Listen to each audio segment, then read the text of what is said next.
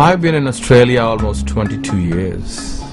I did my bachelor's in electrical engineering and then followed it up with the master's in management and systems from Indian Institute of Technology and uh, came to Australia, did my master's and PhD in computer science at La Trobe.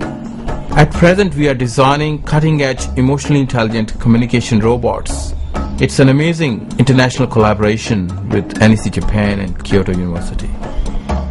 I'm driven by a desire to transform my students into self-believing, confident contributors to the industry. Engaging with the industry provides me an opportunity to put my students in touch with real-world projects and real-world experiences, which helps them achieve tangible and meaningful outcomes. I want to make a meaningful difference in the lives of my students and to the broader community. Hello. As soon as you start interacting with these robots, your whole perception changes.